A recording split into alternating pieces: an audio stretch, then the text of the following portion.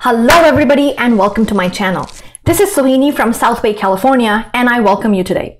For people joining me for the first time, this is the channel where we understand how AI scientists and enthusiasts, you could be students, you could be uh, in the AI uh, domain itself, but you're looking for a career change. In this channel, we understand what are the steps that you need to do to embellish your digital portfolio to then be successful in your next career move. So if this is of interest to you, please like and subscribe to this channel. In our previous video, we looked at how to enhance our LinkedIn profile in order to get our, the, the job interview call. In today's session, we will be looking at the other aspect to ensure that our profile is weatherproofed for job applications, and that is looking into the GitHub repo. Understand that all employers nowadays always look at our digital portfolio or digital presence in terms of a GitHub repo in which we have made original contributions. So from now on, we will be looking at our original contributions, which will be then hosted on our GitHub repo going forward. So let's get started. In today's video, we will be looking at a well done GitHub repo what should an ideal GitHub repo look like? And then we will be going through uh, different use cases of when to use what kind of data augmentation strategy so that we are prepared for our interviews going forward to understand when to use what strategy and why. And finally, we will delve into the code base itself and understand the nitty gritty if there are dependencies and aspects that we need to resolve to understand that the code base actually works. So here is today's topic.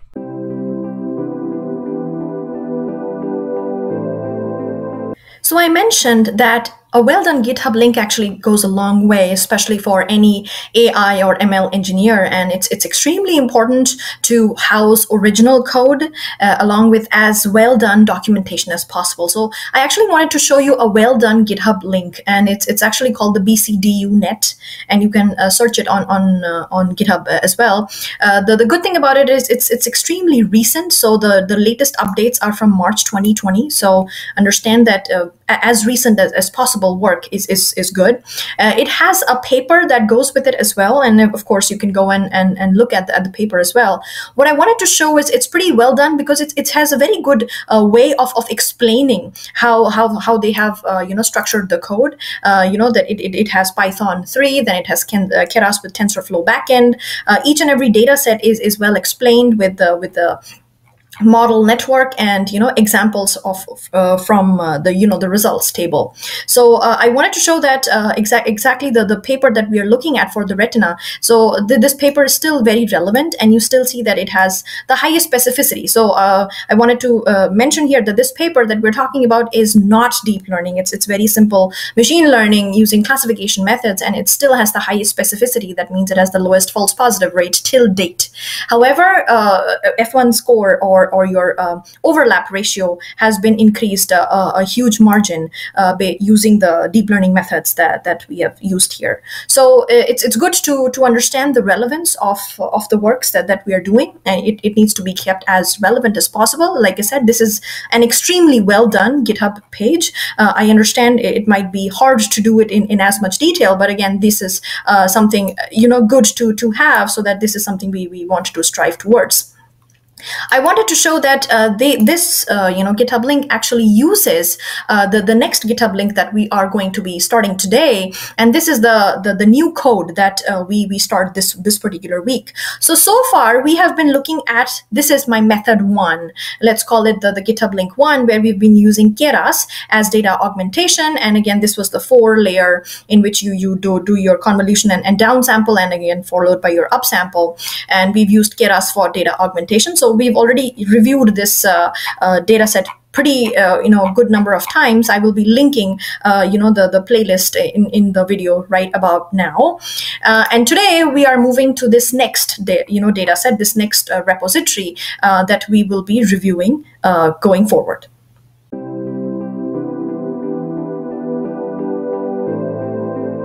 So I wanted to go over the the, the differences, the main differences between uh, the two methods that we have reviewed and we will be reviewing so far. So again, going back, our topic has been advances in deep learning for medical image segmentation, and so far we've been using the U-Net for semantic segmentation using medical images.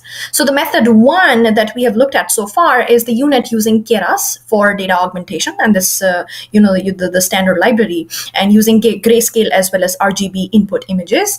And the second method that we will be starting to look at from today onwards is the U-Net with tiled sub-images. So here, instead of augmenting the, the same images in, in, in a certain way, we are actually subsampling the images. So we take tiles of subsamples from the data, and now we get a lot of images from you know a small set of uh, starting images, and then that becomes our, our starting input set. So let's look at the impact of data augmentation. So this is the method one on the right hand side that we have reviewed so far. And this is the, the different kinds of augmentation that has been carried out. So we see there is zoom, shear, rotation, flip, every single thing. And you know, these are the original images. From one image we've seen we can augment up to like 48, 50 uh, images. Again, zooming in too much is has, has not been very useful. So that's why we have to keep within certain you know limits. And this would be the, the ground truth, which is zoomed out and zoomed in in the same way. And method number two that we will be reviewing from today onwards is, is one in which you break down the whole image uh, into patches of 48 by 48 and that's the size that is uh, recommended for this particular data set. And this is the the sub patches and these are the corresponding ground truth uh, you know the, the image masks that gets out. So what happens you train from all these images put together and uh, you know you, this is your x and this is your y. And finally this is the the, the test image also you start predicting the very very thin uh, versions of these blood vessels and then they are put together. So it's sort of uh, you know putting back uh, a jigsaw puzzle. And you putting all the all the puzzle pieces together and you would get your uh, you know segmented retina uh, right after now, it's, it's important to understand when to use which data augmentation strategy. So let's review. This would be the cell, the histopathology or the cell images that we saw for the ISB challenge. In this case, both method one and two would work. So if you had, you know, taken tiled sub images, or if you zoom in, zoom out, shear and, and pan and, and rotate it, you will see different variations of the same pathology from different angle, in which case the, the membrane segmentation, so both method one and two would work pretty well in this case. However, let's look at uh, this image, and this is called OCT or optical coherence tomography images in which these are cysts, so subretinal cysts uh, that have uh, formed.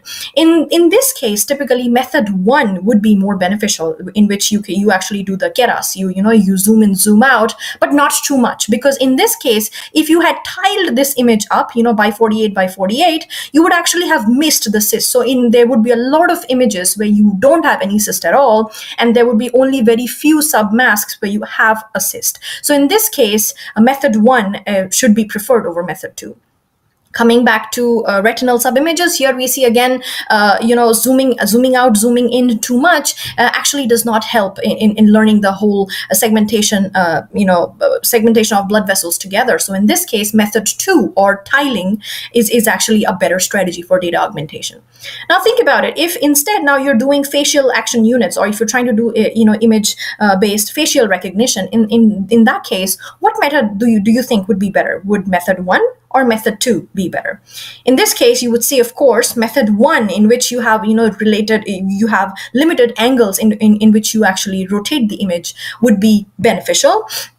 Method two would actually fail in this case. Uh, however, because if, if you form very small tiles from these images, you would actually have tiles only having your forehead or your nose or your eyes. And then you would actually not be learning that it's actually a face, right? So that's why you have to understand which data augmentation strategy works in which case. So that is the key takeaway from from this particular exercise that we're doing is the same data augmentation strategy does not always scale to all images you have to understand which one works in which case a thinker right so that's the food for thought Finally, we look at some of the differences in model implement implementation. So if we look at model number one, you see it actually goes in for four layers. So you start from 64, then it goes to 128, then 256, and 512, and then it goes to 124. So there are you know four layers in which you come down and then after that there are four layers in which you go your up pool however in model number two you see only three layers coming down and three layers going up. So this is a much shallower U-Net than this particular model. So we whenever we are doing an apples to apples comparison it's not just good enough that you take the same data set and you run it on both both cases and you just report the final output parameters. You actually have to see that the models are actually different. In which case uh, and this is uh, this calls for our ablation study which we, we will be doing is what happens if you apply this you know a shallower model to the first augmentation strategy and if you have a, a deeper model to the second augmentation strategy. So we will be interchanging the the augmentation strategy and the uh, and the the depth of of the U-Net in order to see which combination is actually the best. And that would be the original contribution towards our uh, github link that we will be posting at the end of this process. Finally i wanted to go over the new code base for this method number two because today is going to be the first time we actually review this code. Now this uh, code base is is written pretty well and it has a lot of details mentioning how you should be be running it. But one thing that uh, you know this code is different from from the previous code base is the fact that this is actually uh, written for python 2.0 and in, in most cases, uh, whenever we are running TensorFlow, we actually have, you know, Python 3.0. So there have to be some changes that have to be made in the in the code base to resolve these dependencies on, uh, you know, the software version. But there are very small changes, and I'd like to go over these small changes so that we can quickly understand uh, what we need to do in, in such cases where uh, we have uh, dependencies, you know, issues with the dependencies. So let's uh, look at a, a very simple uh, you know example first. So this is you know the, the sample of it's called the prepare data sets drive. And you will see the, the the major difference between you know python 2.0 and 3.0 is the print statement. You see in this case you just have a print and space. However as soon as you go to python 3.0 you actually have to put parentheses. So in every single print statement you have to include these parentheses. That is your step number one.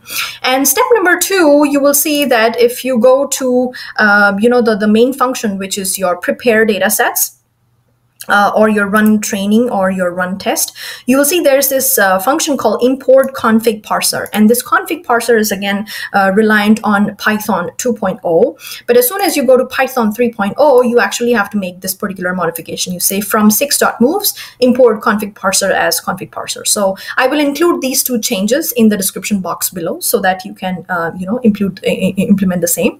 And in this case, uh, uh, for, for my implementation, I will be using the, the backend will not be Theano. It, it's it's going to be uh, TensorFlow.